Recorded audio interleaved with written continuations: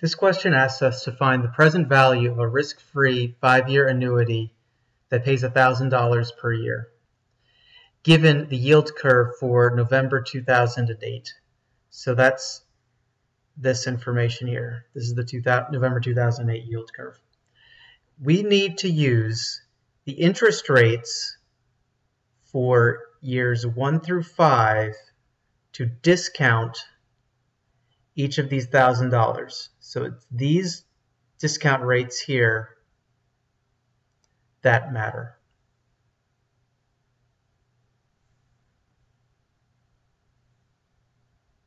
On a cash flow diagram, our cash flows of this annuity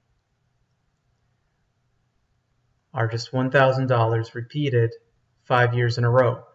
The difference from how we've calculated the present value of, of an annuity previously was that we used a single discount rate to discount all these cash flows.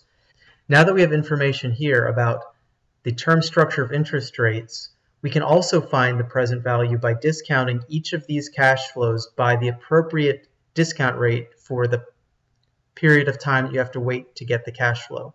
So we'll discount the $1,000 back at the one year bond rate, which was 0.091%.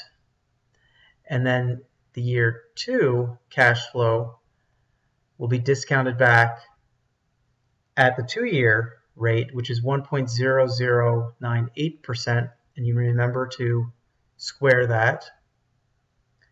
And so on for three. And then we will add up all of these discounted cash flows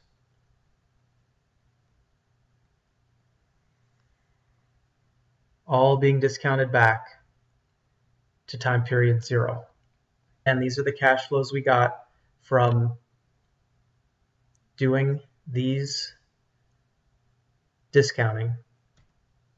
We get $4,771.27.